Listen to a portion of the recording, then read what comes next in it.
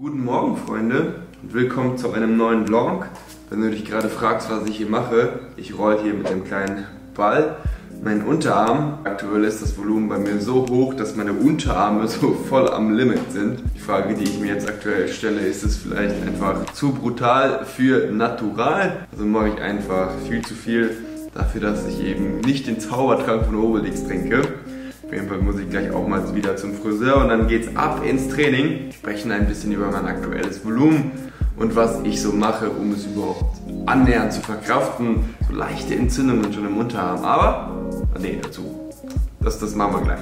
Das, darüber reden wir gleich. Ich lasse mir eigentlich die Haare immer gleich schneiden. An den Seiten sind es, glaube ich, 3 mm. Oben, keine Ahnung, wahrscheinlich 8, 9 cm.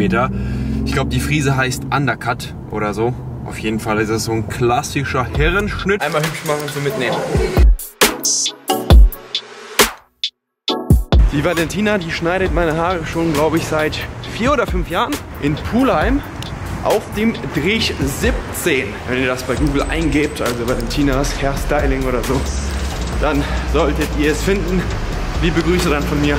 Im Gym angekommen, es steht Unterkörper auf dem Plan plus wir müssen noch ein paar Bilder schießen, Lähnchen. Nicht vergessen, und zwar für das Trainingspedia-Update. Ich habe ja immer wieder gesagt, die Updates, Freunde, die sind natürlich für alle Kunden umsonst. Und apropos Trainingspedia, ne, wir haben ja das neue Jahr.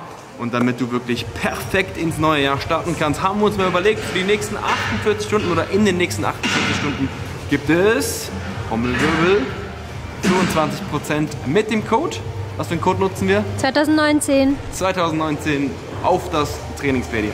Das heißt, du kannst so perfekt in das Jahr 2019 starten, sodass ja, 2019 dein Jahr wird und auf jeden Fall, was das Training angeht, keine Fragen mehr offen sind. Ich würde sagen, let's go, ordentlich pumpen, Bilder machen und dann was richtig Leckeres essen.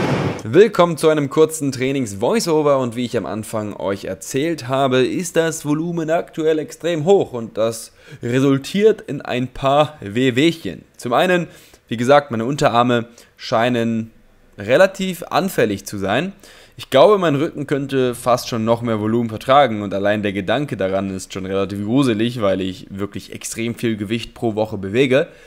Aber das heißt für mich natürlich, dass ich irgendwie versuchen muss, die Regeneration jetzt erstmal in den Unterarmen zu beschleunigen. Also, ganz konkret, ich werde die Unterarme jetzt öfter in der Woche rollen, vielleicht auch mal vor dem Training rollen, das kann die Durchblutung oder das fördert die Durchblutung und eventuell wird dadurch die Regeneration beschleunigt. Es kann aber auch nur sein, dass es Bro Science ist. Ich habe auf jeden Fall ein gutes Gefühl, wenn ich meine Unterarme rolle. Deswegen werde ich das jetzt auf jeden Fall definitiv fest in meine Trainingsroutine oder in meinen Pausentag oder was auch immer implementieren. Das andere, natürlich, man kann Zughilfen benutzen und das wird auch den Unterarm definitiv entlasten. Habe ich bis jetzt auch gemacht, vor allem bei sowas wie Romanian Deadlifts, also rumänisches Kreuzheben und Co. Wurde natürlich immer mit Zughilfen ausgeführt. Shrugs, also Nackenziehen.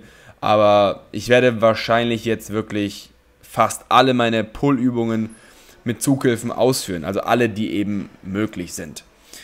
Äh, ansonsten kann ich sagen, dass ich vermutlich auch dauerhaft das bulgarische die bulgarischen Split Squats nicht wirklich verkraften werde. Mein Hüftbeuger macht schon seit äh, gut zwei, drei Wochen echt Zicken. Und ähm, deswegen habe ich an dem Tag auch gar keine Squat, Beinpresse oder sonstiges gemacht, weil es einfach nicht ging, weil einfach die Schmerzen zu stark waren und ähm, ja, ich auf jeden Fall jetzt erstmal schauen muss, wie ich ohne große Hüftbeugerbelastung, meinen Unterkörper trainiere, aber da kann ich ein separates Video dazu machen. Ich wollte kurz darauf eingehen, was meine aktuellen Methoden sind und natürlich sowas wie heiße Bäder und Co., genug Kalorien. Schauen, dass man auf jeden Fall nicht äh, ja, zu krass entzündungsfördernd alles Mögliche in sich reinstopft, sondern ab und zu auch mal ein bisschen Lachs konsumieren, tut auf jeden Fall auch nicht schlecht. Und ansonsten, wenn euch das Thema im Detail interessiert, dann haut mir das mal ab in die Kommentare. Dann kann ich ein separates Video dazu machen. Jetzt viel Spaß mit dem weiteren Vlog. Ja, damit kann man die eine oder andere Immobilie, glaube ich, kaufen. Guten Morgen. Was geht? Geht. So, was haben wir? 7,75 Euro. Was machen wir denn jetzt? Hm? Nachos. Nachos. Interessant. Was ein Einkauf, Freunde. Wir haben hier erstmal Chips geholt, dann natürlich Eis. Die Daimtorte ist überragend. Rasierschaum darf nicht fehlen. Brokkoli auch nicht. Die großen Milka sind viel geiler als die kleinen. Vor allem das hier und das mit Peanut. Und ansonsten haben wir hier noch äh, Cheesecakes, Leitkäse, Brokkoli, Cola, Light oder beziehungsweise Zero, koffeinfrei und Mais. Wir machen jetzt unsere berühmt-berüchtigten Nachos. Dafür brauchen wir hier erstmal eine Pfanne, ne? machen ein bisschen Öl rein, damit wir das Tatar, das Tatar, das Tatar anbraten können. 180 Gramm, wie gesagt, das erstmal anbraten. Und wir würzen das Ganze mit Taco Mix von Don Enrico Jalapeno. Spanisch für Jalapenos. Für mich ein Muss. Für Lena. Fun Fact: Lena ist maissüchtig. Der Zaubertrank von Obelix, der kommt jetzt hier drauf. Göscheln lassen. Brokkoli kann man zu allem essen und dann wird zu einem Fitnessessen. Nicht geizen, Freunde, nicht geizen. 10, 15 Minuten, 200 Grad. So, und fertig ist das gute Stück. Sieht das mal nicht richtig, richtig, richtig nice aus? Ja, Sepp, das sieht übertrieben geil aus. Ich könnte es ganz easy selber zu Hause nachkochen.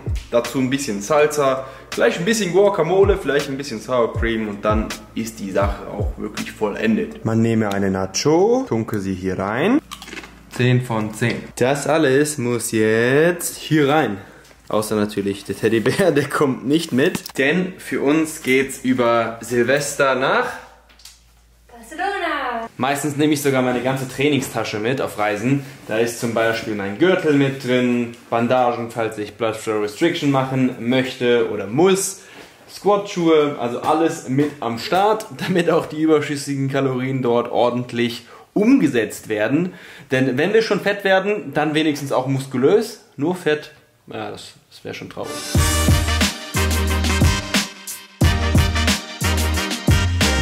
Wir werden sowohl Silvester als auch Lenchens Geburtstag in Barcelona verbringen, denn Lena hat drei Tage später Geburtstag und Barca ist, glaube ich, meine Lieblingsstadt in ja, Europa. Kann man. Meine auch. War, schon, war schon Zufall, du. Wir waren jetzt, wir waren jetzt, glaube ich, die letzten drei Jahre dreimal dort, also jedes Jahr eigentlich einmal. Ich glaube, ihr wart auch schon zweimal da. Dort haben wir auch auf jeden Fall mal gevloggt, daran kann ich mich noch erinnern. Und ich kann euch eins sagen, 2018 war einfach nur übertrieben krass. Also ich bin da mega dankbar für, dass alles so gut gelaufen ist. Mega, wir haben sehr viel erlebt, sehr viel gereist. Genau, wir haben sehr viele neue Orte entdeckt. Alte Orte, die wir gefeiert haben, haben wir wieder besucht. Hau raus, wo waren wir überall? Wir waren in Thailand, Marrakesch, Mhm. Florida, Bahamas, Dubai, Abu Dhabi, Deutschland, Schweiz, Öster Schweiz Österreich. Österreich. Österreich. Genau, dort habe ich mein Seminar gegeben. Stimmt, ja. Yep. Das war aber auch sehr schön. Genau, in Berlin waren wir ein paar Mal. Also wir haben mega viele Orte, wie gesagt, bereist. Und wir haben die erste gemeinsame Wohnung bezogen Highlight. nach fünf Jahren Beziehung. Dein Highlight? Ja. Das So war, cool. Ja, das war der nächste Step und das war richtig. Genau, Next Chapter. Für mich war auch definitiv, ja, also ich konnte mir, sagen wir es mal so, definitiv einen Traum verwirklichen. Und zwar habe ich mir mein Traumauto gekauft. Und ich kann sagen, jeden Tag, wenn ich einsteige, ja, erfüllt es immer noch mein Herz mit Glückseligkeit. Meins auch. Deins auch? Fährst du hier rum, ohne dass ich weiß, äh, Bescheid weiß? Manchmal. Nein. Really? Ja, und sportlich hätte ich mir das eigentlich gar nicht besser vorstellen können, oder? Ja, du hast gerockt, ne? Danke. also deutscher Meister wieder geworden im Natural Bodybuilding. Bei den Pros sogar. Dieses Jahr gab es ausnahmsweise mal einen Profi-Wettkampf.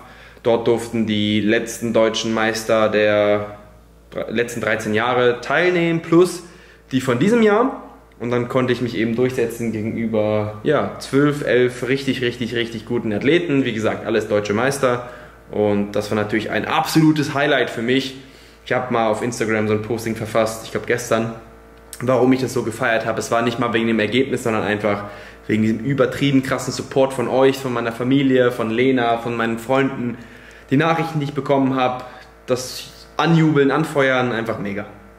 Super Du geil. Bronze gemacht in Miami. Genau, Bronze in Miami und damit die beste deutsche oder deutschsprachige Leistung aller Athleten bis jetzt. Bei den Pros natürlich. Und es kam immer so rüber, als sei ich voll enttäuscht über die Platzierung. Und klar, ich hätte gerne gewonnen, logisch. Aber so im Nachhinein bin ich schon ein bisschen stolz drauf. Aber wäre ich jetzt so komplett zufrieden. Du hast halt Ehrgeiz und in zwei Jahren geht's halt nochmal los, ne? Ja, in zwei Jahren wahrscheinlich geht es nochmal halt los, zwei, drei können. Und das ist auch gut, glaube ich, so. Ne? Mit 25 Erster zu werden, das ist vielleicht ein bisschen zu jung. Vielleicht wäre ich ja abgehoben. wahrscheinlich nicht, aber Doch, wahrscheinlich man, muss, man muss jetzt die dritte Platzierung, muss man sich schön reden. Naja, Man das kann's ist jetzt halt, toppen. Das ist halt super gewesen. Ja, all in all war das auch Ja. super. Die Prep lief halt sehr gut eigentlich. Das ne? stimmt. Ich konnte sehr viel Muskeln behalten und äh, bin nicht verrückt geworden. Bin Naja. jetzt auch halbwegs wieder. Da stimme ich nicht ganz mit äh, Okay. ein. Und ansonsten mein erstes Buch geschrieben. Hammergeil. Euer Feedback dazu einfach nur brutal. Als Erstautor fast täglich immer noch Nachrichten zu bekommen, dass ich euer Trainingswissen auf das nächste Level gebracht habe. Das ist natürlich übertrieben krass und schmeichelt mir voll. Ich weiß gar nicht, was ich da immer antworten soll. Das ist immer voll, Ja, das ist. Äh, voll die Ehre und dann das ist äh, danke. mein erstes Supplement. Ja, dann ist es Supplement. Science. Free. Und ja, ich sehe, 2018 war schon hammerkrass. Wir werden natürlich alles in unserer Macht Stehende tun, um 2019 mindestens genauso krass werden zu lassen. Ganz ich weiß, klar. Ich weiß, was, was, da, was das toppen könnte. Ich auch. Wir haben da was im Pedo. Mhm. Und zwar ein Restaurant. Ein Dessertrestaurant. Ich wollte gerade sagen Sushi-Restaurant. Nein, Dessert. Okay, ein Dessert-Restaurant. nee, mal, ja, Spaß beiseite. Es kann sein, dass ich mir einen Traum verwirkliche, aber da will ich jetzt noch nichts zu sagen, weil das so unwahrscheinlich ist aktuell, dass ich dazu nichts sagen will, weil man redet nicht über ungelegte Eier und so weiter und so fort. Aber Freunde, es wird so oder so 2019 einiges von mir kommen und darauf könnt ihr gespannt sein. Und falls das klappen würde, wäre das schon übelst geil.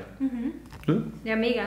In dem Sinne, Happy New Year. Ich hoffe, dass all eure Wünsche in Erfüllung gehen. Von uns, ja, gehen die besten Grüße an euch raus.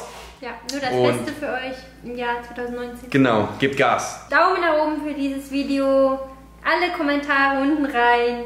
Glocke anmachen, abonnieren. Ja. Seid nicht geizig. Gönnt mir zum neuen Jahr einen guten YouTube-Algorithmus. Und ja, Freunde, wir sind out. Peace out.